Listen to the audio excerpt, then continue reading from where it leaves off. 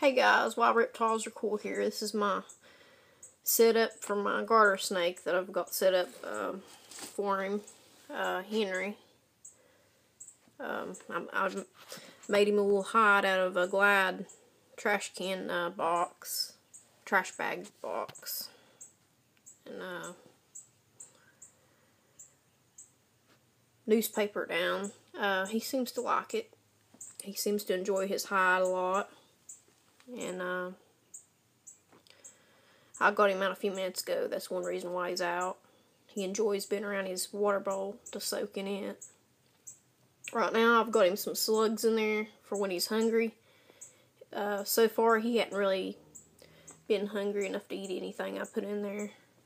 Um, but hopefully he'll eat soon. Snakes tend to eat, uh, not eat as much. They eat like if they eat something big, it tends they tend to not uh, be hungry for a while. They have that's just the way their metabolism works because they're cold blooded. But yeah.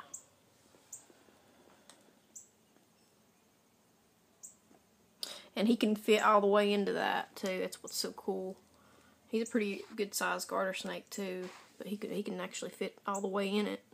The Glad trash uh, trash bag box I got for him there for a hide. But, um, thanks for watching again and see you soon.